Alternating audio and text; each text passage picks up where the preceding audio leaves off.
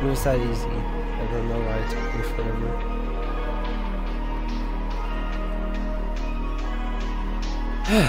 forever.